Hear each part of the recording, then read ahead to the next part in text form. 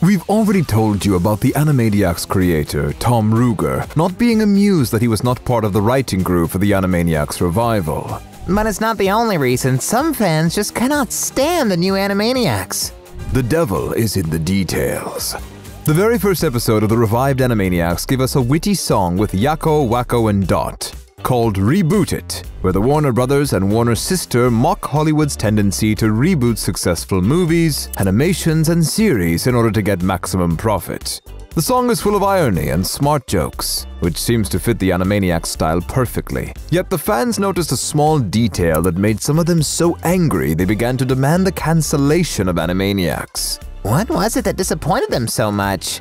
The frame with two posters Johnny the Beginning and Johnny 2 Telling Lies, the second of which depicted Johnny Depp holding scissors. Fans saw this as taking sides in the conflict between Johnny Depp and Amber Heard. The poster seems like a reference to Heard's claim that Depp chopped off his own finger, while Depp said that it was Heard who almost cut his finger off. The telling lies part makes it look as if Warner Brothers supports Amber in her accusations, and they've labeled Johnny Depp as a liar and abuser.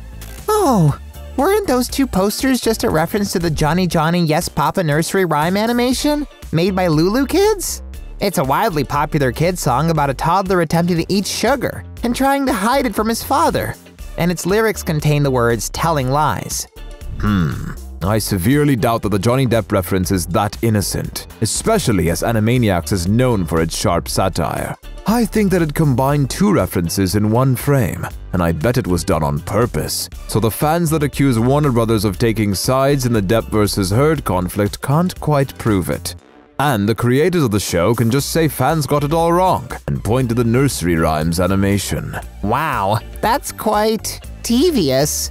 Yes, Animaniacs can be devious, However, there was nothing devious about that funny incident with a phone number in episode 6 of the Animaniacs revival. What incident? Well, Hulu had to take down episode 6 of the new Animaniacs for a while because of a phone number that was displayed in a brainstorming TV commercial. Some of the fans wanted to see whether it was fake or not and actually dialed it. Not only did it turn out to be real, but it was actually a phone number to a sex hotline. Oh my! I hope that no kids were among the fans who decided to call it well, Hulu decided not to take any chances after a few complaints and edited the number out of the episode. I wonder whether they are going to regret not editing the Johnny Depp reference out of the rebooted song.